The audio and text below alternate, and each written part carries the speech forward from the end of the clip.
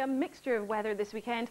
Rain on Saturday, sunshine on Sunday. Today the cloud has rolled in off the Atlantic, spoiling the sunshine and bringing rain. Now it looks as though through this afternoon, round about 3 o'clock, that rain will be in across northern England, edging in towards the Midlands. Heavier over the hills in the west, lighter and patchier, generally speaking, in the east. Across Scotland, more rain to come here, but it's not as wet as it was yesterday, not as windy either, thankfully. Across Northern Ireland, perhaps a little bit drier this afternoon, but still a lot of cloud around, and the cloud keeping temperatures in the north at around 11 or 12. For, for Wales, cloudy afternoon, outbreaks of light rain and drizzle, and across the southwest of England too, the cloud thickening up here through the afternoon. It looks as though it's really just southern and southeastern parts of England holding on to something a little bit drier here, but here too, we're losing the sunny skies, the cloud are rolling in. Now we'll continue to see the cloud overnight tonight. It won't be as cold as last night because we have the blanket of cloud, the breeze picks up and we have rain.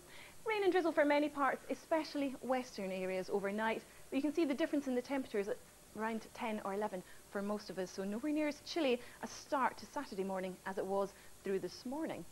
Now if we look in towards the southwest of England first thing tomorrow morning, it's going to be a wet old start to the day, isn't it? Southwesterly winds blowing in some cloud and rain at least with the southwesterly winds, it should be a milder day, so although it could be cloudy and wet and breezy, it's not going to be too cold. Across the Northern Ireland, I think a rather grey start to the day here.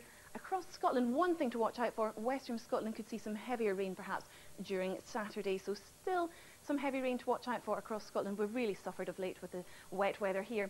Quite a breeze in places.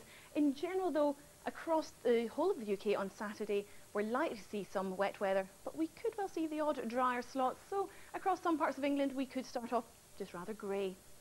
During the day on Saturday then, it's a breezy day as I said. Most places I think seeing showers or outbreaks of rain, but perhaps the odd drier slot. Still, keep the brollies handy. In terms of temperatures, it's still really mild for the end of October. We're looking at 15s to 17s.